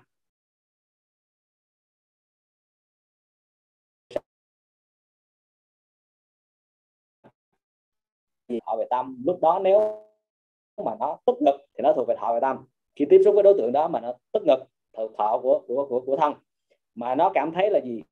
À buồn buồn khi mà người ta đối xử mình như vậy nó thuộc về thọ của tâm. Rồi bắt đầu là gì? À bắt đầu là biết đối tượng nhận biết đối tượng đó tên gì à, người đó như thế nào vân vân. Cái đó là thuộc về tưởng nhận à, phân tích à, phân tích rồi tổng hợp rồi xác định. À, rồi kết luận ghi nhận cái đối tượng đó và bắt đầu phản ứng lại đối tượng đó bằng cách là gì? Chửi lại. À bình phẩm. À ghét à, giận dữ vân vân. Và hình thành nên cái được gọi là tâm sân về đối tượng. Đó. như vậy sân không phải là chỉ có sân không mà là gì? Nguyên một cái chuỗi tiến trình từ các giác quan tiếp xúc với đối tượng hình thành nên các cảm thọ của thân và của tâm. Rồi bắt đầu ghi nhận đối tượng và lưu đối tượng lại rồi phản ứng lại như thế nào. Thì nó lưu nguyên cái trở thành một cái nút thắt một cái cái cái nội kết ở bên trong về đối tượng. À, trở thành một cái cái sự dính mắc của một cái tiến trình vậy. Nó sống nguyên một cái tiến trình đó, nó lưu trong kho chứa. Rồi, đó. Hôm sau, mình gặp lại đối tượng, hoặc là hôm nay mình, hôm sau mình chưa gặp đâu. Tối đó mình về, tối đó mình về. Mình thấy một cái vật lưu niệm mà người đó tặng cho mình. Lại tiếp tục là gì? Sắc các giác quan tiếp xúc với đối tượng. Lúc lúc này là gì? Sắc hình thành. Sắc uẩn hình thành. Mình thấy cái đó thì ngay lập tức là gì? Mình có cảm giác khó chịu liền, khó chịu bực bội khó chịu liền ngợt liền. Thấy cái cái cái cái cái vật lưu niệm đã tức ngực rồi. À, cảm thấy buồn rồi. À rồi bắt đầu là sao? Những gì liên quan của đối tượng thì nó lại lập tức sống dậy cơ chế vận hành của tưởng. Tưởng nó lấy toàn đem những cái gì mà xảy ra trong ngày hôm nay bắt đầu nó sống dậy nó tràn ngập là hết. À, rồi bắt đầu là gì? Đem nó đập luôn cái đập luôn cái vật kỷ niệm lưu niệm nó luôn. À, nó đem nó cắt luôn. À, giấu luôn. Không có để trước mặt mình nữa vì mình cảm thấy mình khó chịu. Như vậy hôm nay mình tối nay về mình nhìn lưu điện của họ mình lại tiếp tục săn nhưng mà tối nay đâu có ai làm cho mình sáng khi thực tế là tối, tối nay đâu có ai làm cho mình sáng như vậy nếu một người mà họ sống với cái sự hoàn toàn tỉnh giác tinh tấn chánh niệm tỉnh giác họ ý thức được cái thực họ đang sống. À, và cái này không có liên quan gì đến cái chuyện mà ngày hôm nay làm cho mình giận hết thì như vậy họ sẽ không đem cái giận dữ của ngày hôm bả đối lại cái vật lưu niệm mà người đó tặng cho mình. Như vậy trong tiến trình này hoàn toàn người đó sống trong tự thức. Như vậy không? như vậy thì đó là đến cái chuyện là gì? Cái sân thứ hai thì người đó khi thấy cái vật lưu niệm mình tặng cho người đó à, thì đã nổi sân tiếp tục là xong lên sân hai rồi. Như vậy là sân chồng sân trong coi chứa tiếp tục sân là nó làm cho cái cái nút thắt giữa mình và người đó bắt đầu càng chặt hơn rối hơn. Rồi ngày hôm sau mình gặp người đó. Mắt mình thấy, thấy người đó thì ngay lập tức các phản ứng tự nhiên diễn ra và tưởng cơ chế vận hành của hồi tưởng là lấy thông tin của cái hai cái xăng lần trước lập tức sống dậy và tràn ngập ra và thấy người ta là đổ xăng liền nhưng hôm nay họ đâu có làm gì cho mình nổi sân. Nhưng mà mình vẫn sân của họ. Như vậy cái sân đó là hoàn toàn ở cấp độ vô thức. Được chưa? Rồi bây giờ nói về cái gọi là ý thức nè. Khi các giác quan tiếp xúc với đối tượng à, và mình biết là các giác quan tiếp xúc với đối tượng lúc đó là ý á thức nè ý nè tiếp xúc với đối tượng và có phát sinh cảm thọ. À, có phát sinh cảm lạ vui hay buồn à, hay dễ chịu. Rồi bắt đầu ghi nhận đối tượng lưu đối tượng và phản ứng lại với đối tượng. À, phản ứng lại với đối tượng nó thuộc về hành tính phản ứng lại như thế nào? Đó yêu thích hay là không ưa? Ưa hay không ưa? Đó rồi cuối cùng là gì? Mình lưu cái thông tin đó về đối tượng. À, rồi bắt đầu là gì? Mình hình thành nên cái cái suy nghĩ của mình về đối tượng. Đó, và mình có những luận của mình về đối tượng. Rồi bắt đầu mình tiếp tục tương tác, sau đó mình tương tác với đối tượng. Mình có thể từ cái việc mà mình nhận thức, từ cái mình tiếp xúc thông tin đó, bắt đầu mình có cái cách nhìn nhận, hiểu biết của mình về đối tượng. Và bắt đầu mình suy luận, mình đánh giá, mình tổng hợp về đối tượng. Rồi mình lại tiếp tục tương tác với đối tượng trên những cái điều mà mình suy luận à mình phân tích mình tổng hợp đó để mình tiếp tục làm việc với họ. Và mình biết rất là rõ mình ý thức được cái điều mình đang à và mình có thái độ phản ứng với họ. À, mình cũng biết với cái điều, điều đó và mình biết điều chỉnh cái hành vi của mình trong cái quá trình mình tương tác với họ. Nhưng tất cả những cái này đều do cái lý trí của mình nó điều khiển và mình biết rõ cái việc mình đang làm. Thì cái đó là trường hợp của ý thức nhưng cái hành xử này nó vẫn hoàn toàn trên của cái ngã của lý trí của cái ngã thôi nha của ý thức của cái ngã thôi. Chứ không phải là sống trên cái thực của cái bậc giác ngộ có trí tuệ. À, thứ hai là, là là giải thích trong trường hợp nào thì nó lúc đó cái ý thức nó tồn tại và cái vô thức là hai cái đó rồi. Trường hợp thứ ba cái tiền ý thức nó sẽ tồn tại như thế nào? Khi ông thầy ông dạy về những kiến thức và mình lắng nghe. À và mình phát sinh cái cảm và thích thú với cái điều ông nói hoặc là mình không không nói đó là thuộc về thọ. Bắt đầu mình nhớ à, mình ghi nhận cái thông tin đó mình nhớ và mình phản cách lại gì? Là mình thích thú cho nên mình lặp đi lặp lại. Mình viết status là về cái điều này rồi mình đi chia sẻ cái điều này về cái điều mà mình cảm thấy hay ho đó. Hoặc là mình phàn nàn về cái điều mình cảm thấy nó không đúng mình không chấp nhận thuộc về hành hành hưởng thuộc về tư. À và bắt đầu là gì? Nó hình thành nên cái tâm tham và cái tâm sân của mình à, tâm si của mình liên quan đến cái thông tin mà mình và bắt đầu mình lưu cái điều đó trong cái kho chứa. À, và khi mà bắt đầu mình ôn, ôn tập mình sao mình đọc lại tài liệu và bắt đầu sao? Tưởng cơ chế vận hành của tưởng là nó lấy thông tin trong kho chứa ra và nó giúp mình nhớ lại cái thông tin đó. À thông tin đó. Rồi đến khi mà đến đi thi thì sao? Ra đề mình đọc đề. Là đó là các giác quan tiếp xúc với đối tượng hình thành nên cảm thọ. À đề xong là có cảm thọ liền à. Rồi bắt đầu là gì? Ghi nhận đây là nội dung gì? À, thuộc bài nào? Và bắt đầu sao? Nhớ lại đưa cái thông tin từ trong kho chứa này lên à, thành cái nội dung của bài thi.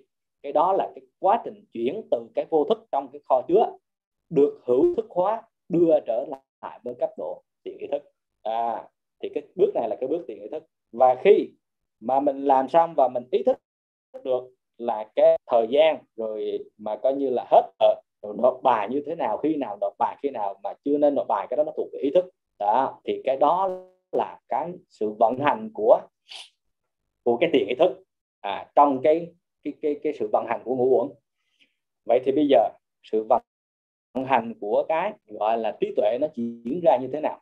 À, nếu khi các giác quan tiếp xúc với đối tượng mà mình hoàn toàn bị chi phối bởi của cái tâm tham sân tâm si gì cả mà hoàn toàn sống trên cái thực à, thì nó chỉ là sắc đơn thuần chứ không phải là và phát sinh cảm thọ mình không sân không si gì với cái thọ này thì thọ chỉ là thọ đơn thuần. Ví dụ khi một người họ đứng trước cái cảnh nào đó, họ có phát sinh cái nỗi buồn. Đây chính là cái buồn một cách thụ động tự nhiên, chứ không phải là vì sai chưa tạo nghiệp gì hết khi họ buồn. Họ vui, chưa có tạo nghiệp gì cả. Nhưng khi họ buồn thì họ lại không thích cái buồn đó. Chính cái ý này nó can dự vào, nó muốn dẹp cái buồn đó đi, không muốn buồn nữa và nó muốn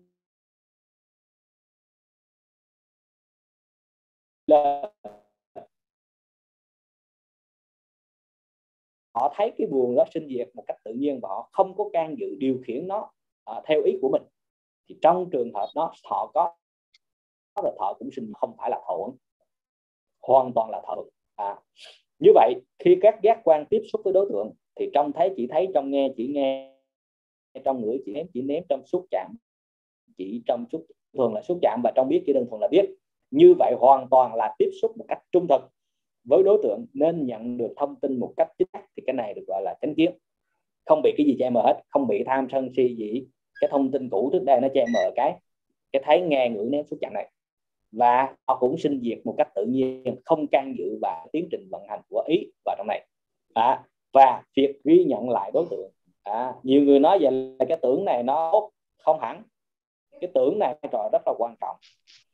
Nhờ tưởng nên có cái cơ chế hồi tưởng lấy được thông tin cũ ra cho nên mình mới biết học cái gì rồi và mình làm cái gì khi mình thi. Mình nhớ đường à, nhớ kiến thức nhớ những thông tin cũ lại. Nếu như không có cái hồi tưởng này thì mình sẽ rất là rối. Nhưng mà nếu như mà tưởng là tưởng đơn thuần thì nó không có cái sự can dự của cái ý của là tham sân si và cho nên nó lấy thông tin một cách rất là chính xác về cái nó cần về đối tượng thôi. Chứ nó không có à, không có tham sân si gì khi mà nó nhớ lại đối tượng nó cả.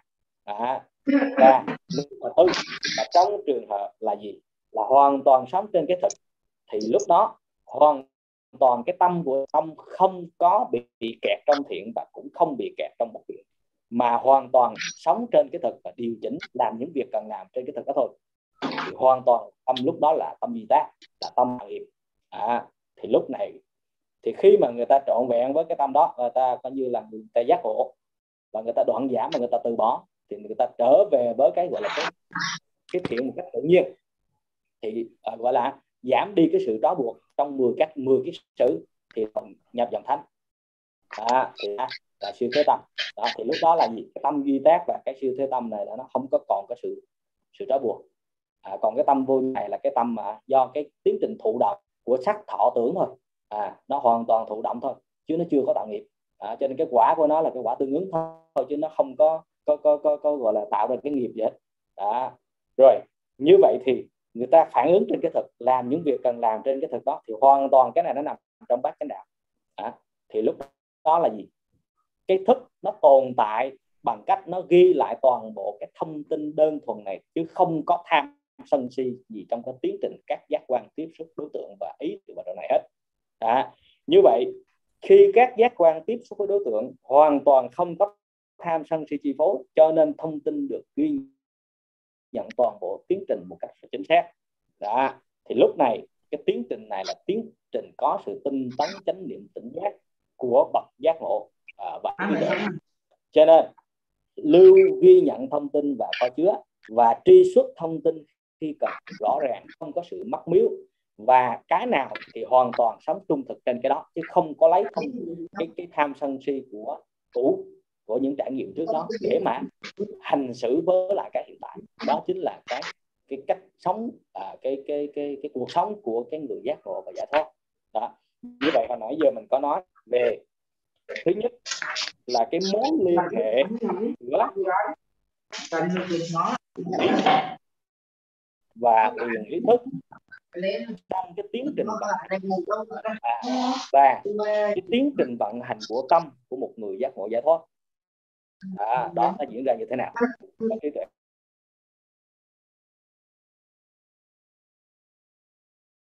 Đó, là cái câu. À, không biết là anh nắm được cái cái cái nội dạ. dung không? Dạ thầy à, em thấy có thể, à, mình, mình có thể chia tạm thời giữa mà có thể trong một cái thời điểm mà giải thích mà anh có thể hiểu được hết.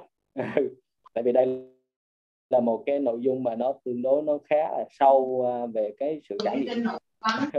Thì dần dần dần mình mới thấy được cái tiến trình tâm đó nó diễn ra như thế nào trên cái con người của mình.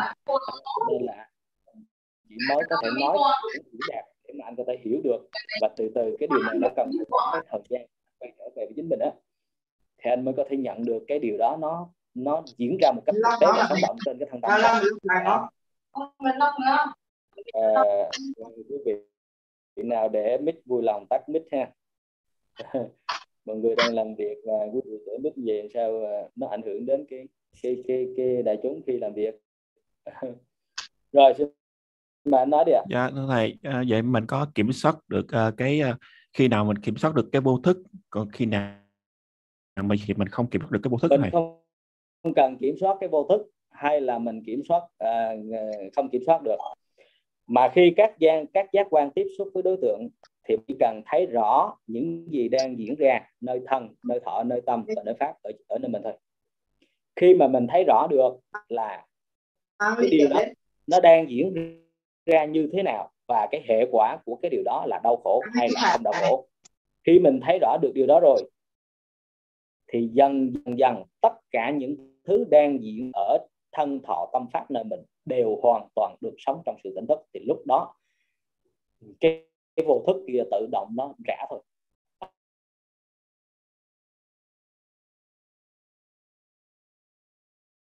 Mình không cần phải kiểm soát nó. Với cái cái thực tại cái đang diễn ra khi mà các giác quan tiếp xúc với đối tượng mình không thấy cái thực đó đang diễn ra như thế nào ví dụ lúc đó mình mắt mình thấy cái hoa hồng. À mà mình biết rằng là mình rất là thích cái hoa hồng này. À, mình rất thích cái hoa hồng này. Và mình rất là mê cái hoa hồng này. Đó thì lúc đó là mình ưa rồi. Bây giờ mình ưa cái hoa hồng này. À, mà cái ưa của mình này trong trường hợp này á nếu như mà mình không có cái tinh tấn chánh niệm tỉnh giác ngay trên cái việc mà mình nhìn cái hoa hồng thì trong trường hợp này dường như là mình bị dính mắt mình ưa và cho nên mình dẫn đến là gì? Ưa ghét đó thuộc về ái rồi. À, cho nên mình dẫn đến là gì? Mình chấp thủ. À, rồi bắt đầu mới hưởng mới tạo tác. Như vậy thì trong trường hợp này mình nếu mình không có tinh tấn chánh niệm tỉnh giác mình không thấy cái thực đang diễn ra nơi mình thì mình mới bị chi phối của cái vô thức. Còn khi mà mình biết mình đang ưa mình đang bị ưa mình đang bị chi phối bởi ái và mình thấy rõ khi mà mình ưa như vậy thì dẫn đến mình đâu mình khổ như thế nào mình phiền muộn như thế nào khi mình ưa nó rồi mình tạo tác như thế nào để mình có được nó. À, rồi mình đâu khổ như thế nào. Thì chính cái việc mình thấy rõ điều đó cho nên mình thấy rõ được đâu là nguyên nhân dẫn đến khổ và đâu là là con đường dẫn đến không khổ. Thì ngay chỗ đó dần dần dần dần mình thấy được cái sự thật như vậy cho nên là các cái bất thiện pháp nó nó đoạn giảm và đến lúc mình thực, thực sự mình thấm thía mình sẽ từ bỏ cái điều đó thì hoàn toàn mình trở về mình sống với cái thực với cái tâm không tham không sân không si. Thì lúc đó hoàn toàn nó không còn bị chi phối bởi cái vô thức nữa. Đó.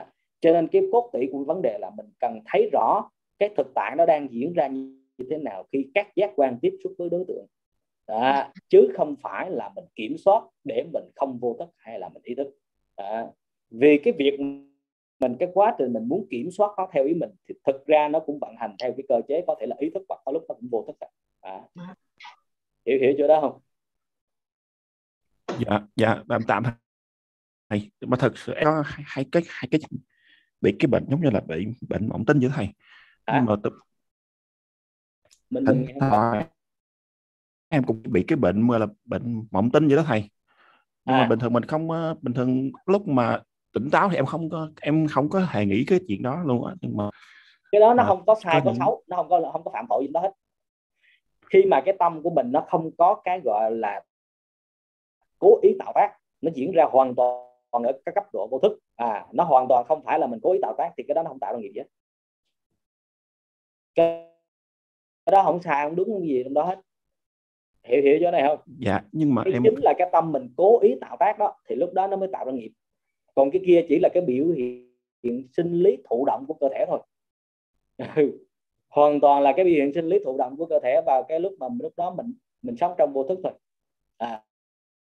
còn cái lúc mà mình ý thức á lúc hàng ngày mình sống đó thì mình bực bội với nó hay là mình đắm nhiễm trong cái khoái lạc của nó à, thì cái đó nó mới tạo nghiệp. Còn cái lúc mà mình ngủ mà nó bộc ra một cách vô thức thì cái tâm của mình lúc đó không phải là tâm cố ý tạo tác. Cho nên nó không có tạo ra nghiệp gì chỗ đó hết. Hiểu hiểu chỗ đó không? Cho nên dạ, cái đó dạ. không sao cả và đó chỉ là một cái hiện tượng sinh lý bình thường à, thụ động chứ không phải là do cố ý tạo tác mà có. Dạ dạ. Cảm ơn thầy. Vậy là mình chỉ cần tinh tấn chánh niệm tỉnh giác. Đó. là lúc đó là mình đang mình đang sống với cái thực tại cái cái cái, cái, cái lúc mình mình mình mình, mình thức á. Dạ. hiểu hiểu được không? Thực ra cái vấn đề về cái vấn đề tính dục là một trong những vấn đề rất là sâu trong cái gọi là cái tiến trình vận hành của tâm. À cái này có lẽ là phải có thời gian để mình nói về nó bản chất của nó và sự vận hành của nó và sự đoạn giảm của nó và sự từ bỏ của nó nó không phải là muốn là ngay lập tức theo ý mình đâu. À, tại vì cái đây là một trong những cái bản năng cực kỳ là là, là sâu à, cực kỳ mà là mạnh trong cái cái bản năng gốc của con người. Cho nên mình cái này là một cái phạm trù mà có lẽ là nó phải có cái nhiều cái thời gian để mà nói về nó thì mới có thể hiểu được cái bản chất của nó và cái sự đoạn giảm của nó như thế nào thì nó đoạn giảm và cái cơ chế vận hành của nó nó như thế nào thì lúc đó mình mới có thể hóa giải nó một cách nhẹ nhàng được. À, chứ chứ còn cái này mà nếu mà mình để mà hóa giải cái chuyện cái vấn đề tính dục đó trong một cái buổi thì đó là một cái điều không thể được đâu. À, nhưng mà mình có thể nói thẳng cái chỗ đó là cái đó là hoàn toàn của một tiến trình thụ động trong vô thức và chính vì vậy cho nên nó không có tạo nghiệp gì trong đó cả nhưng nghiệp sẽ tạo trong khi mà mình trong đời sống hàng ngày. Lúc đó mình tỉnh thức mình có ham muốn tính dục. Và cái cách mình phản ứng khi mình có ham muốn tính dục thì lúc đó nó mới dẫn đến cái tạo nghiệp. Còn cái lúc mà mình ngủ mà nó diễn ra cái mộng tinh phản ứng tự động của cơ thể nó không có tạo nghiệp gì đó hết. À, cái đó không phải là bệnh luôn. Đó chỉ là một hiện tượng sinh lý bình thường của cơ thể thôi. Đó anh anh nắm được cái đó không? Dạ. Rồi còn cái vấn đề về, về vấn đề tính dục kia thì có lẽ là phải có một cái cơ hội một cái, cái, cái thời gian nào khác mình mới có thể nói về nó. Đó. Dạ em cảm ơn thầy ạ. Rồi. À, có nhiều câu hỏi. À, bây giờ mình sẽ trả lời nhanh một số cái câu hỏi này. Thưa thầy có thể thay đổi những thông tin của vô thức theo chiều hướng mình mong muốn không ạ? À? à, làm sao mà thay đổi được thông tin của vô thức theo hướng mình muốn à, nếu như mà mình thay đổi cái thông tin theo hướng mình muốn thì mình phải biết mình muốn cái gì trong vô thức. Mà đã vô thức là không có biết được cái gì đang diễn ra thì làm sao thay đổi? Cho nên cái việc mà mình thay đổi cái thông tin à, trong cái vô thức mà mình muốn theo ý mình thì chẳng khác nào mình đang biến mình từ cái trạng thái này từ một cái dạng này sang một dạng khác. Thì cái này nó sẽ đi theo cái hướng gọi là chỉ là gì? Muốn hoàn thiện cái ngã thôi. Hoàn thiện cái ngã. Hoàn thiện cái ngã. Từ chưa hoàn hảo trở thành một cái hoàn hảo hơn. Thì trong trường hợp này nó sẽ đi theo cái con đường của của bà la môn á. Tức là cố gắng nỗ lực rèn luyện để trở thành một cái ngã hoàn hảo để mà mà mà hòa nhập vào cái đại ngã. Để mà mà, mà cộng cộng đối với phạm thiên thì cái đó là cái con đường của bà la môn. Thì nếu như trong trường hợp đó mình làm vẫn được nhưng mà cái đường mình đi nó sẽ đi theo hướng của là gì? Hoàn thiện cái ngã trở thành cái ngã hoàn hảo hơn so với cái ngã hiện tại. À, cho nên làm thì làm vẫn vẫn có thể được. À, đó là cái sự tập nhiễm cái sự thực hành lặp đi lặp lại của nó nhưng mà thực ra nó không đem đến sự giác ngộ và giải thoát mà nó chỉ là gì? Biến mình trở thành một cái tốt hơn. Nó đúng hơn là mình bị dính mắc bởi cái tâm thiện à, bởi các thiện pháp. À, thì trong trường hợp này mình mình vẫn có thể làm được nhưng mà cái giác ngộ giải thoát thì nó không có diễn ra vì đó bản chất cái con đường đó phải là con đường mà Đức Phật ngài nói. À, cho nên cái con đường mà gọi là lập trình ngôn ngữ tư duy mà cái cách mà gọi là sống bằng những cái điều tích cực đó à, thì cái đó mình đang bị bị dính mắc bởi cái thiện. À bị dính mắc bởi cái thiện. Cho nên nó cũng chỉ lòng vòng trong tam giới thôi. À còn giác ngộ giải thoát thì nó rất là khó để đi theo con đường này. À, à, thầy theo sơ đồ thì thọ có bị vô thức tác động trực tiếp phải không? À à, họ uẩn mới bị tác động bởi cái vô thức. Ví dụ như thế này nè. À, một người họ buồn về cái chuyện đã xảy ra trong quá khứ trước đây của họ. À khi bây giờ họ nhớ lại đó chính là hồi tưởng nhớ lại cái buồn đó. Và nếu mà họ để cho cái buồn đó nó diễn ra một cách tự nhiên hoàn toàn buồn như thế nào rồi họ khóc ra sao rồi họ nghĩ cái gì à, nó diễn ra hoàn toàn một cách tự nhiên theo cái cách nó muốn. Và đến khi nó tận cùng của cái sự diễn ra thì nó mất đi thì lúc đó thọ sinh thọ diệt hoàn toàn một cách thụ động tự nhiên. Mình không có can dự vào cái cái tiến trình sinh diệt của thọ. Nhưng khi mình buồn mình nhớ lại những cái đau khổ những cái uất ức của mình trong quá khứ.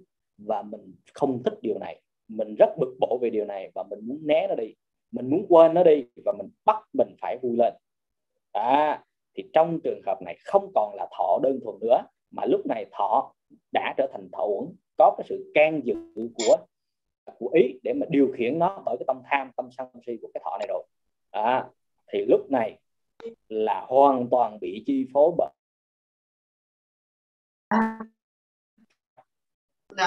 họ gặp cái đối tượng mà họ luôn luôn gặp cái đối tượng đó. Một người họ ở trong hôn nhân ở ở trong hôn nhân. Cho nên đứng cái chuẩn bị việc lập hôn nhân họ cảm thấy rất là buồn và lo lắng. À, một cách tự nhiên à, mà họ đang nghĩ là bây giờ cái người này rất tốt cho mình đâu có cái gì mà mình phải lo. Nhưng mà nó cứ nó buồn một cách tự nhiên vậy như vậy thì coi chừng trên cái đối tượng hiện tại nhưng mà cái thọ vận hành trong trường hợp này là thọ của quá khứ chứ không phải là thọ trên cái cái thực ở hiện tại nữa. Thì như vậy nó sẽ bị chi phối bởi bởi cái quá khứ. Như vậy nếu mà là thọ đơn thuần thì chỉ hoàn toàn trên cái thực đó thôi thì nó không có bị chi phối bởi cái quá khứ. Nhưng nếu mà là thọ uẩn thì cái thọ ở hiện tại luôn luôn bị chi phối bởi cái thọ trước đây. Đó. Rồi. Thọ nó diễn ra xuyên suốt trong cái quá trình mà mà khi các giác quan tiếp xúc với đối tượng. À chứ nó không, không phải là nó đi ờ, nó đi gọi là nó đi theo cái quy trình mà nó diễn ra xuyên suốt luôn. À, trong cái quá trình mà các giác quan tiếp xúc với đối tượng thì thọ nó nó vận hành song song luôn. À, lúc nào nó cũng có cảm thọ chứ không phải là là là, là tiếp xúc là nó có thọ sau đó nó hết. Lúc mà có thể lúc đó là gì? Thọ ưu hay là thọ hỷ hay thọ xả thọ khổ thọ lạc hay thọ xả? À, mà thông thường là cái thọ xả là thọ trung tính là mình không có mình tưởng nó không có. Nhưng mà thực ra nó vẫn có chứ không phải nó không có. Đó.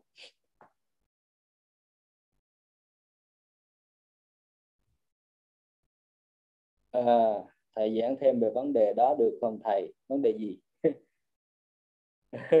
Bây giờ nó có rất là nhiều cái vấn đề. Mà bây giờ nếu mà nói hết được thì nó sẽ rất là khó nói.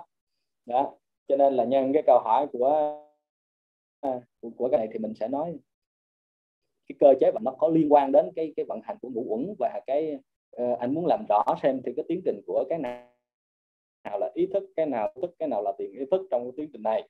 Thì mình chỉ làm thêm cái phần đó thôi. Uh, còn những cái vấn đề khác thì có lẽ rằng là sẽ có cái chủ đề tính dục hay là cái ứng dụng tự dụng tu tập hàng ngày trong cái năm uẩn thì cái này mình nghĩ là sẽ có một cái dịp nào đó khác. Ờ, thì mình sẽ nói về cái này tại vì nó không có đủ cái ờ, lượng thời gian để mà mình sẽ ờ, sẽ nói hết được cái vấn đề đó. Cho nên hôm nay thì có lẽ mình tới đây thôi hôm sau mình sẽ tiếp. Còn những cái vấn đề mà nó có liên quan à, sâu hơn thì có lẽ là mình sẽ đợi một cái dịp nào đó có có có, có cơ hội nào đó thì mình chia sẻ.